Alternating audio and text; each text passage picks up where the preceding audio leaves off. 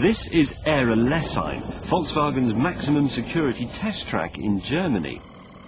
When it was built during the Cold War, it was deliberately sited in a no-fly zone near the East German border in order to stop prying eyes from seeing secret prototypes. It has over 60 miles of private track, but the bit we're interested in is the main straight, which is a whopping five and a half miles long.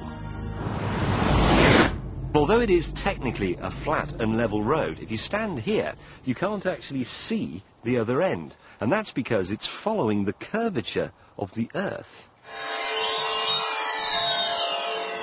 But even when you've sorted the venue, you can't just jump in the car and go. This is Germany. There are procedures to go through. I like procedures. You have to insert a special key into a slot by the door. And when you do, the diffuser flaps close, the rear spoiler retracts, and the whole car hunkers down to become as slippery as possible.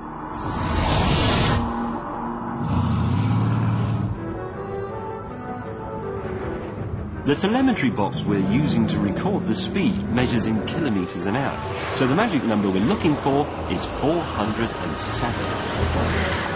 Right, ladies and gentlemen, here we go. I'm approaching the banking at the top of the circuit. I have to do this at 200 kilometres an hour, that's about 120. Around the banking, look for my acceleration point, then give it the beans down the straight.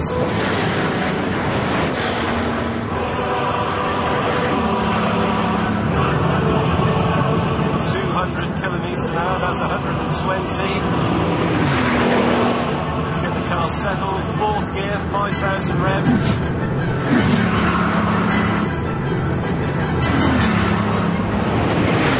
Looking for the exit, where I bury it.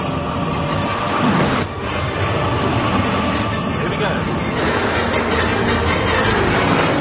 The climb from 200 to 300 kilometres an hour was over in just 9.4 seconds. The world, viewers, is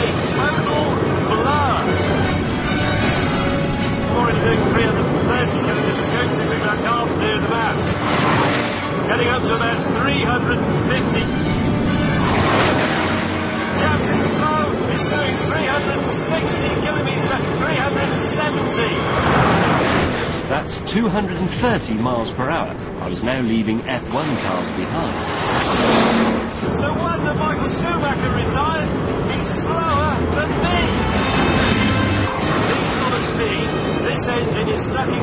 As much air in a minute as I breathe in four days.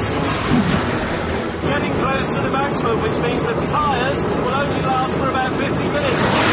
But it's okay, because the fuel runs out in 12 minutes.